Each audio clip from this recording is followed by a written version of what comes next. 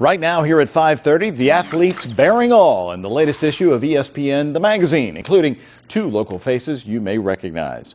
Well, ESPN's body issue hits the newsstands tomorrow, and in it, the athletes drop their inhibitions and pose nude for the cameras.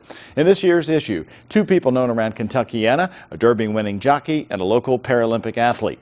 WHAS 11's Brooke Katz talked with one of the athletes and got reaction to those pictures. Picture after picture of buff bodies, athletes taking it all off for the cameras.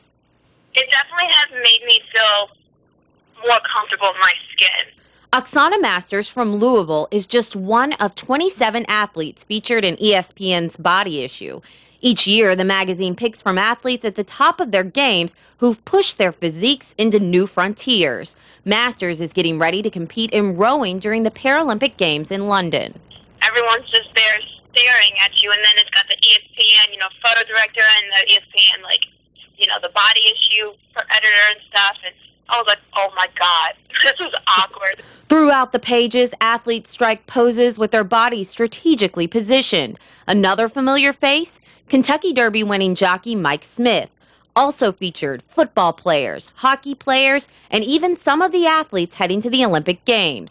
We hit the streets to find out what those in Kentuckiana think of the issue A strong is beautiful or, or something like that. What do you think when you look at these pictures?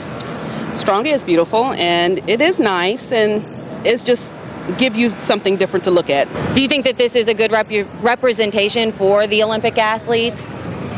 Honestly, no.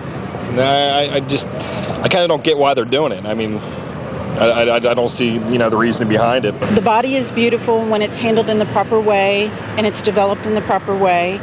So it seemed as though it showed the best of all things. For Masters, the reason behind the shoot is personal. I did the photo shoot kind of just like for myself and just kind of for the bigger picture of like um, breaking that mold of the stereotypical, you know, what people think is beauty.